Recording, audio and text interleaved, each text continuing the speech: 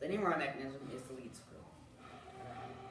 People in our group is Seth, Vince, me, Tiernan, and Kathleen and Scott Magna. The input gear on our mechanism is the lever, this one right here. And the output gear is the shuttle, which is this mechanism right here. The input motion is rotary and the output motion is linear. Our m- mechanism can turn rotary motion to linear, and it's designed to change direction and movement. It can also increase acceleration. And the direction of travel is reversible because it can go forwards and backwards.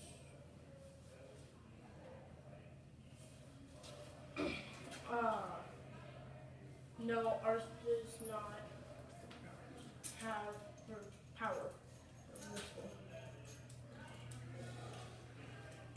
and the Our, ratio, the gear ratio of our mechanism, we do not have one. places where this can be commonly found is in car jacks and vice clamps.